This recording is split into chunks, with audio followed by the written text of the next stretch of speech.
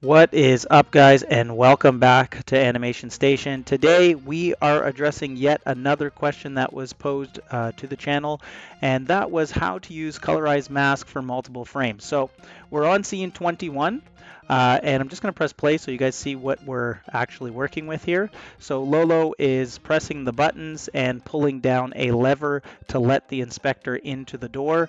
Um, you'll notice the first couple frames have no color. So if we just pause it there, uh, this is what we're going to be coloring in. So we're going to use the colorize mask to color in these uh, frames, these first ones. I'm going to show you how I do it. I have briefly showed it to you guys before, but I've never done a video uh, specifically on it. So that's what we're going to do today.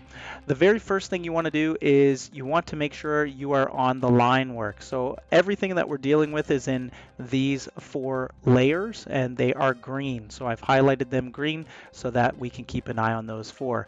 Uh, you want to make sure that the line is selected anytime you're using the colorized mask. That will tell Krita that you are only coloring in these lines, okay? So you only want the line work selected. If you select fill or detail, it will not work. So once you're in the uh, up at the line work, you want to right click and then just say um, add colorize mask. As you can see, I have a, uh, a hyperlink or a quick uh, link for it, Shift A. So that's what I would press. So I just press Shift A.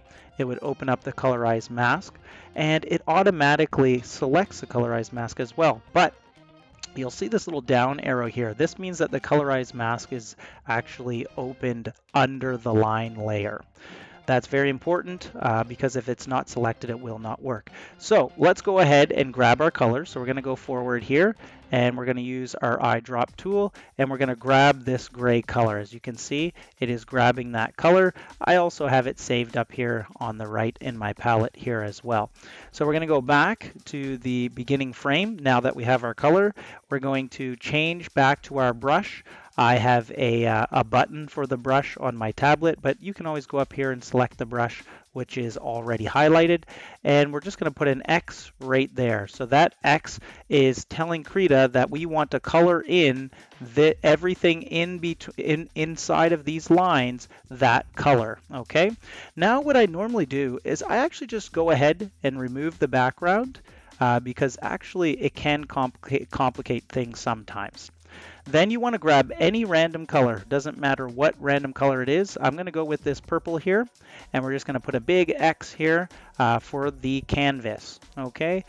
And then what you're going to do is you're going to go up to this top part here where it says colorize mask. You're going to select that. This is the colorize mask tool. When you select the colorize mask tool, it will automatically open on the right hand side. If it doesn't open on the right hand side, it means that your tool options is not a Docker that you have selected. If your tool options is not a Docker, you have to go up to settings and you got to go to Dockers and you have to actually check it off. So you go all the way down here to tool options and it has to have a check mark. If you have that already selected and set up, you'll see that it records whatever colors you use there uh, in in order. So if I used orange, it now records orange. If I use yellow, it now records yellow. Okay, so we'll take away the last two there. I'm just doing Control uh, Z, and we want to actually select the purple, and we want to click on this transparent button. What that tells Krita is anything that we have told with that color as in the canvas. So basically, if we don't select this, it's going to color the entire canvas this um, uh, color. What we've told Krita is that we want this to be transparent. So anything that this touches must be transparent. Okay, and that's it. We're just going to hit the render button, just like so. And there you go. So it has rendered our uh, color fill just for this selection here. It has not done anything else. And if you use click on this little marker option, it will show you uh, in real time what it looks like. If you click on it again, it means that you can go ahead and edit that colorized mask. Okay. So once that's done, all I do now is I convert this colorized mask to a regular layer. And in order to do that, you would just right click, you would go down to convert, and you say convert to paint layer. As you can see, this is what I would select. I would just uh, use Shift C. That's what I normally use. Uh, and you can change that to whatever you'd like in the settings of Krita as well. So now that that is a regular paint layer, you'll see it down here on the left. All right, so we've always seen it here on the left, but now it's a regular paint layer. So what you want to do now is you want to add a layer. So I would just hit the D button for duplicate, or you would go up and select this just like that. And you'll see that it actually adds a frame, sorry. So it adds a frame here. And then what I do is I take that frame and I drag it all the way down to my fill. So I've already labeled a fill. So now that that has been dragged to the fill mark, I can go ahead and get rid of the colorized mask completely. Okay, and what we do is we repeat this process for the rest of the frames. So you'll notice right away, if we move on to the next frame, our color is still showing. And that's because we haven't gone down to the fill and added a new frame here. If you add a new frame or a blank frame here, that fill will be gone, okay? So we continue that. So I'm gonna speed it up just a little bit so that you guys can get the hang of it. What we do is we go to our line work, we press Shift a. Uh, on your computer, it's going to be different for whatever you've uh, used for your quick link here for the colorized mask. Once we do that, we grab our color, which is up here in the gray. We just select that, grab our, our, our pinkish there, select that, and then grab our brush tool. It's going to show up on the right hand side, hit transparent, then render, and it's going to automatically color in that. And remember, all the lines have to be closed, right? So you can't have any open gaps on your lines or it won't work. And we've discussed that in the past as well. So now that the colorized mask has done its job, I just press Shift C. It converts it to a paint layer. Once it's converted to a paint layer, it automatically is going to be where I'm working. So I press D for duplicate. Anytime you hit duplicate, it's going to add uh, the original, which is here at the end, and it's going to add the duplicate, which is the frame you're working with. Don't matter. It doesn't matter because we're getting rid of the colorized mask. So you just drag down the one that you're using, and you drag it down to the fill. After that, you go to the next one, hit N for new, and then you can get rid of that colorized mask. It all it already is selected. So then we continue that. So that's the second one done already. Now we're on to the third motion. So as you can see here, we've got two colored in. Now we go to the third one.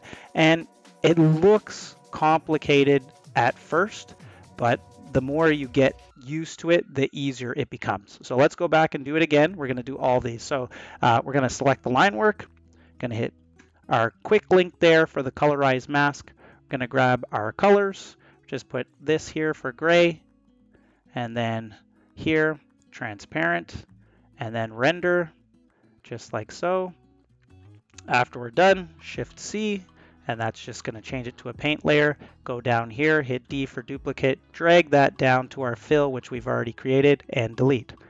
And as you can see, if you get the hang of this, it gets extremely quick. So we're adding in our new frame under the fill to get rid of the the uh, the old fill, and then we're gonna do it again. So we go back up to our line, Shift A, grab our color here and here, Make that one transparent.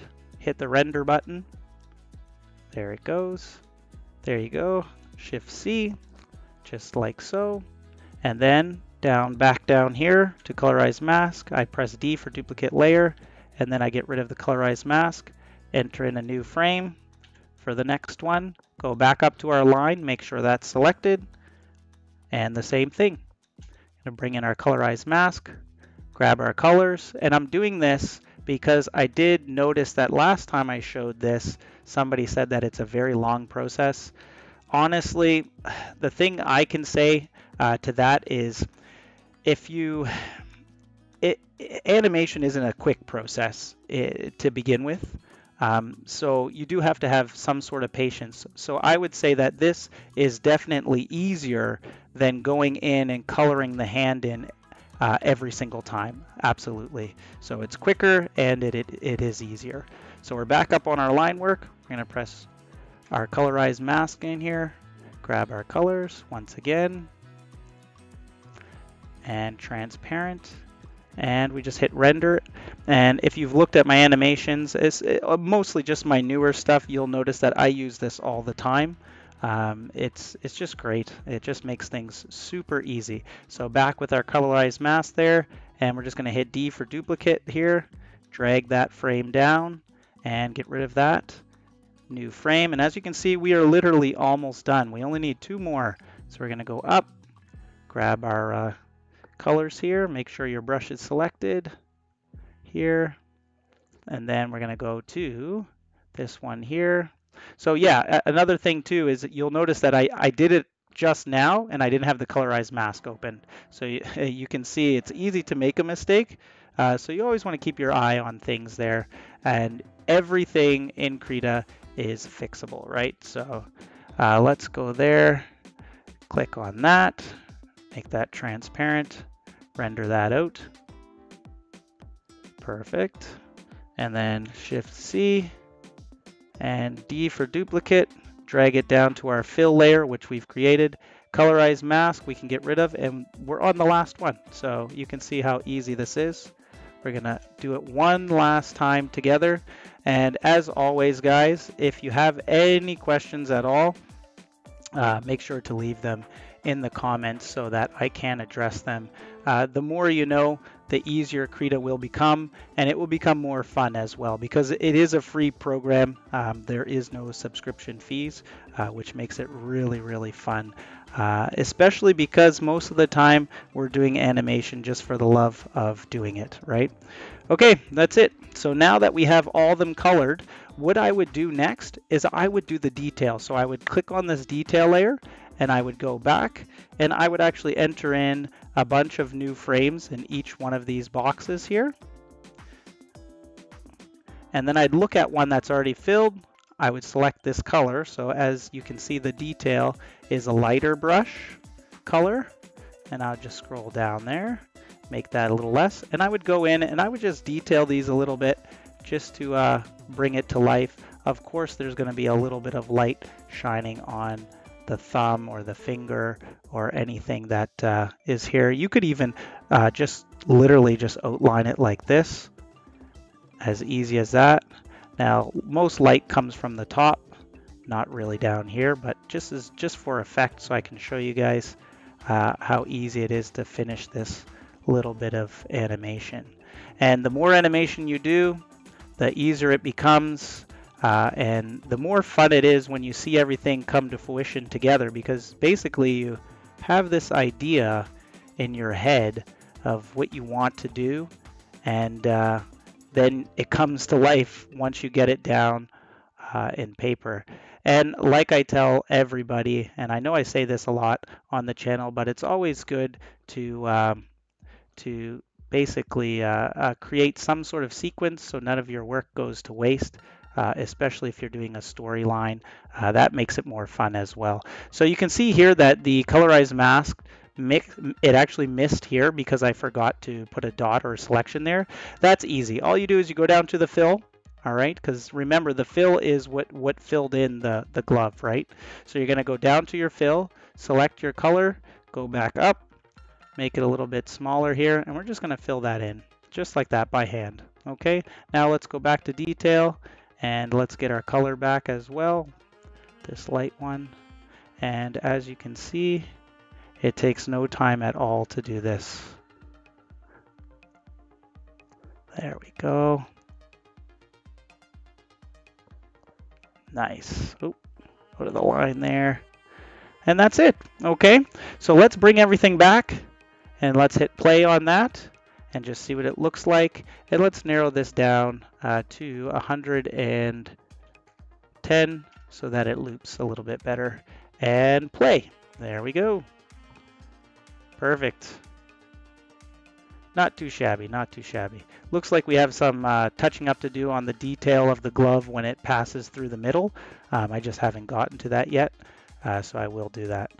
And that's it. Okay, so that's how you use the colorized mask to color in multiple frames. Uh, you do have to get used to it. Once you do, it becomes very, very easy.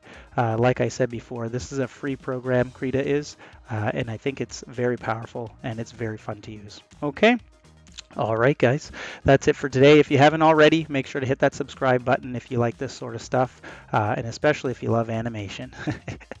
you guys take care. Enjoy your day. Cheers. Bye.